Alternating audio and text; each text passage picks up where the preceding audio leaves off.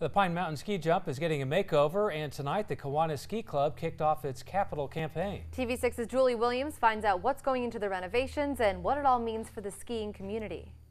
Pine Mountain hosts a ski jump weekend and works closely with the International Ski Federation to make sure the jump is up to code. And even though the mountain has undergone significant upgrades, there's still much to be done. We have to build a new staircase um, to the west side of the tower. This will allow the skiers won't be walking up the tower anymore.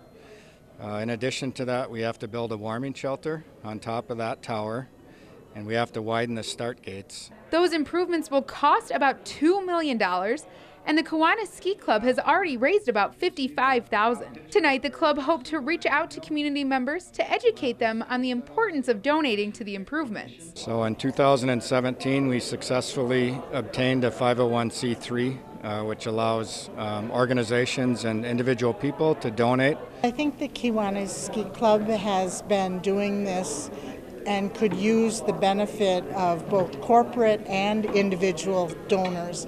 And so any amounts, large or small, all benefit the organization. The Kiwanis Ski Club hopes to start construction at the jump in May of 2018. And both the Ski Club and Bellin Health hope the capital campaign will help community members realize just how important the jump is. So we just want to get the word out, you know, because we want to continue to have ski jumping here in Dickinson County, and we, you know, so we just want want to get the word out that we need to make these improvements, and we need everybody's help to get them done.